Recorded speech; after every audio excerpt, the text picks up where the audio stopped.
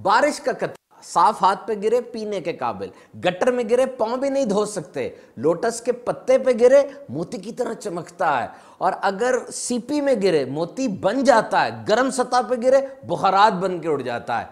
कतरा वही है। फ़र्क सिर्फ़ ये है कि उसका ताल्लुक किसके साथ रहा? इंसानों में भी यही होता है। बंदा वही है। सोहबत बिगाड़ देती है या संवार देती है।